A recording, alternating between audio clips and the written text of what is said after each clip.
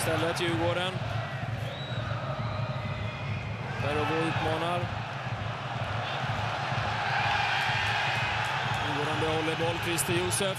Och det är en väldigt fin pass. Skär rakt igenom. Det är friläge för Djurgården och det är mål! Det är bortaledning på Gamla Ullevi. Djurgårdens IF tar ledningen. Vi har spelat bara 15 minuter av matchen och det är bortaledning. Och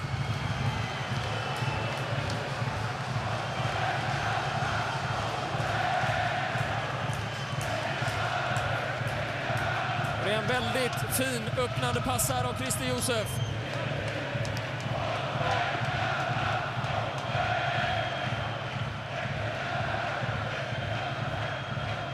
Och det är Filip Hellqvist som avslutar, jag.